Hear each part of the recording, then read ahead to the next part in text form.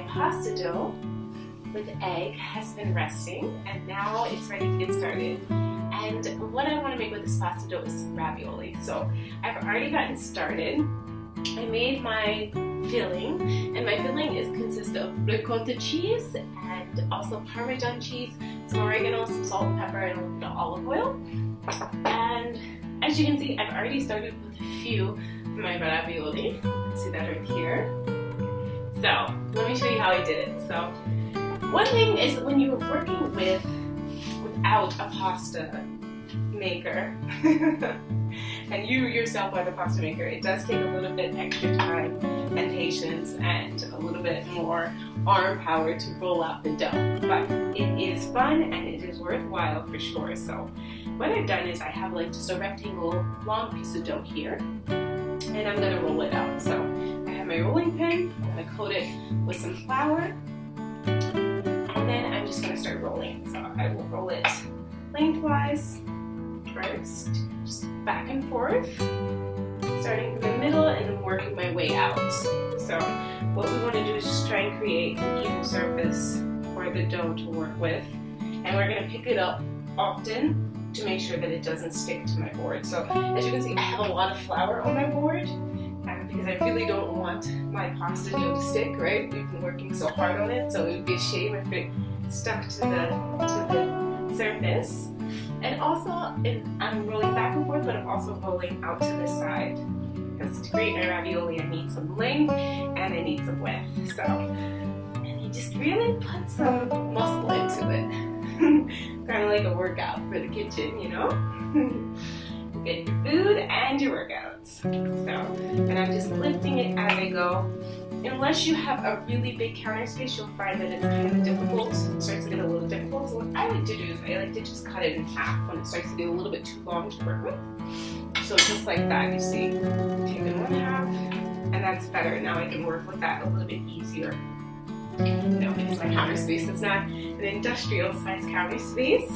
So I need to be creative and find new ways to work with it. So just rolling it back and forth. And yeah, it's really good to make sure you have enough flour on your surface. If you need to stop at some point and reflour, don't be afraid to do that because you just don't want the dough to stick. So I am shaking up a little bit as I lift and being pretty delicate with it because the more you start to roll it, it starts to get very thin, which is what we want, right? Like we don't want the pasta to be super thick, so it is important that it does get thin, but we don't want to be rough with it. We want to be gentle with it. So just keep rolling. Apply some pressure, but also some sensitivity. I know it's an interesting combo. All right. There's nothing like homemade pasta, fresh pasta.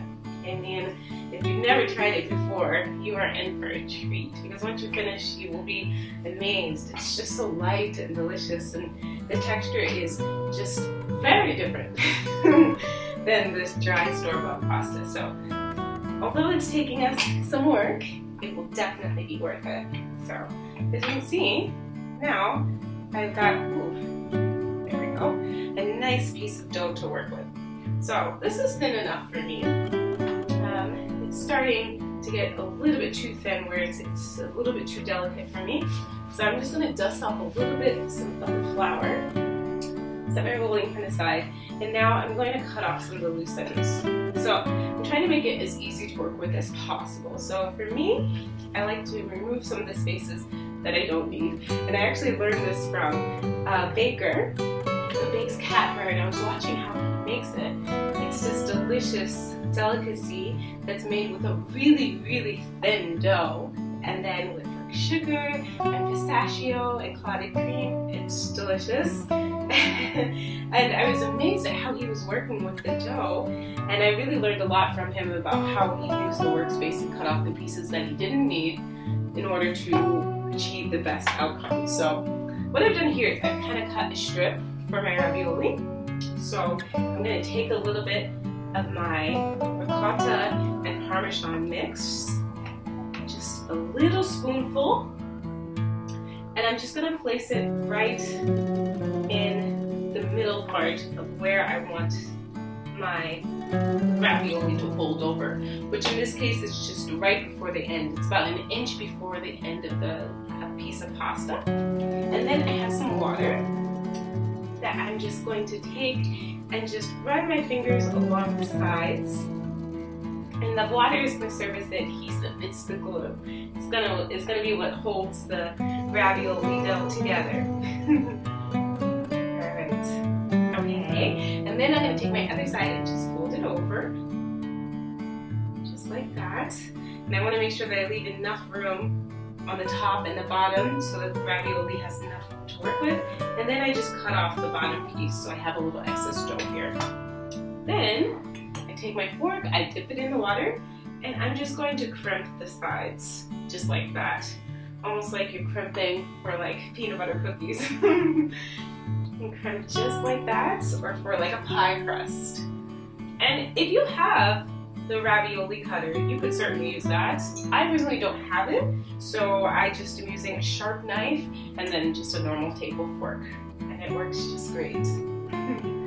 so, once it's all crimped together, you'll have a nice little ravioli just like that. So, I'll place that on my cutting board. I have a cutting board with a little bit of flour on it.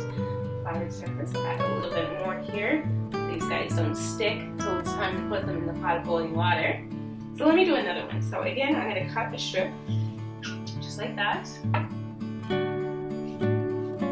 I will dust off a little bit of the flour, place it down, take a little spoonful of the ricotta, and you can use whatever filling you like. I just am a big fan of ricotta.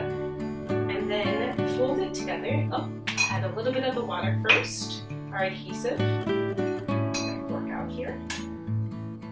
A little bit of the water all around the filling. So remember the point is the water is the adhesive. It's going to be what sticks, keeps the ravioli together. There we go. And then I'm just going to fold over the other side, just like that, and cut off the end piece that I don't need. Still leaving a nice space between the ravioli on both sides. It's about three quarters of an inch space. Uh, I mean, it will vary depending on the size of your ravioli, but for mine, it's about three quarters of an inch. And this is important to make sure that the ravioli doesn't explode because, hey, it's happened. it's not so great after all your hard work when ravioli explodes in the boiling water. So and then I am crimping the sides with my fork, dipping it in water as I go. And perfect. And then you have your perfect little ravioli. So I'm gonna keep going until I use up all of my filling or dough, whatever comes first. And then I'm gonna enjoy some delicious ravioli.